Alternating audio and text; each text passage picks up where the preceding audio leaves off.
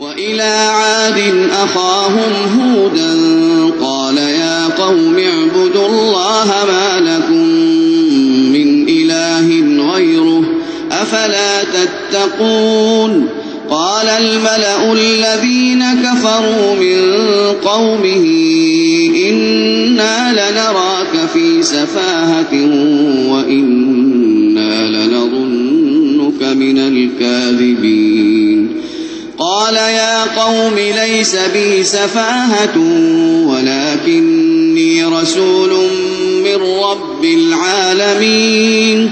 أبلغكم رسالات ربي وأنا لكم ناصح أمين. أوعجبتم أن جاءكم ذكر من ربكم على رجل منكم لينذركم. واذكروا